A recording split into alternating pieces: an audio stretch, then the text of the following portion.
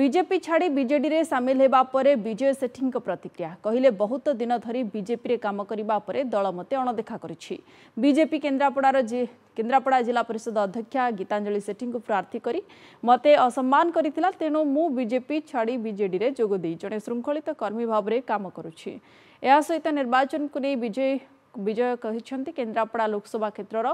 ସାତରୁ ସାତ ବିଧାନସଭା ଆସନରେ ବିଜେଡି ବିଜୟୀ ହେବ କେନ୍ଦ୍ରାପଡ଼ା ବିଜେଡି ସାଂସଦ ପ୍ରାର୍ଥୀ ଅଂଶୁମାନ ମହାନ୍ତିଙ୍କ ବହୁତ ଲୋକପ୍ରିୟତା ରହିଛି ସେ ବିଜୟୀ ହେବେ ସେହିଭଳି ପାଟକୁରା ନିର୍ବାଚନ ମଣ୍ଡଳୀକୁ ନେଇ ମଧ୍ୟ ପ୍ରତିକ୍ରିୟା ଦେଇଛନ୍ତି ବିଜୟ ସେଠି ସେ କହିଛନ୍ତି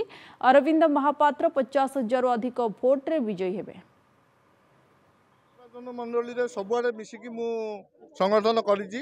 ସଂଗଠନ କଲା ପରେ ବି ମୋର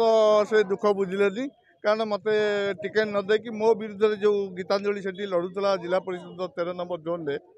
ତାଙ୍କୁ ଆଣିକି ଡାକିକି ଟିକେଟ୍ ଦେଲେ କିନ୍ତୁ ମୋତେ ସେଠି ପ୍ରଶୟ ଦେଲେନି ସେଥିପାଇଁ ଆମର ଗୋଟେ ମୁଁ ବିଜେଡ଼ି ଦଳକୁ ଆସିଲି ଆଉ କେନ୍ଦ୍ରାପଡ଼ା ଜିଲ୍ଲାରେ ସାତରୁ ସାତ ନିର୍ବାଚନ ମଣ୍ଡଳରେ କୌଣସି ଜାଗାରେ ବିଜେପି ଆସିବନି ସବୁ ଜାଗାରେ ବିଜେଡ଼ି ଆମର ୱିନ୍ କରିକି ଆସିବ ବୋଲିକି ମୋର ସେଇଟା ବହୁତ ଆଶା ଓ ବିଶ୍ୱାସ